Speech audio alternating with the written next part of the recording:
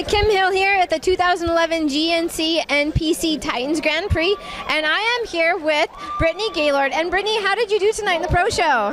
Uh, it was a great first show back. Uh, a lot of great girls, a tough class. Uh, Amanda looked amazing, and we had a blast. It was a really good time.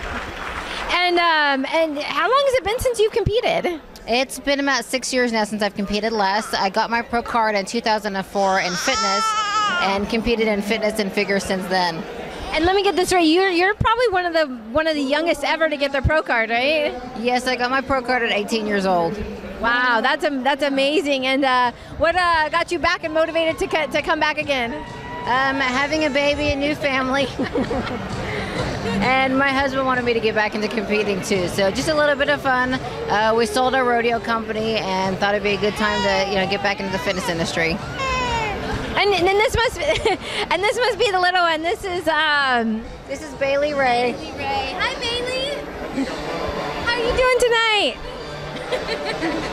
I think she likes the spotlight too. Yeah, she's our little superstar.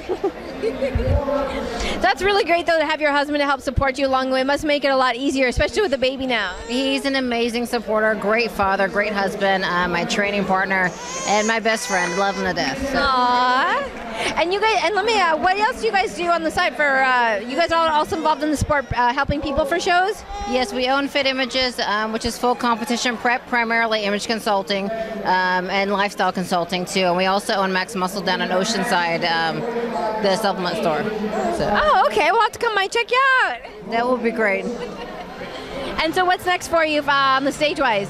Uh, we have Sacramento in two weeks, and then I'm going to Florida in December uh, for the last Bikini Pro show for the year.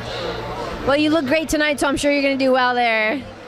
All right, thank you for taking the time to interview with us. Thank you, I appreciate it. Uh, KimHillMuscleContest.com.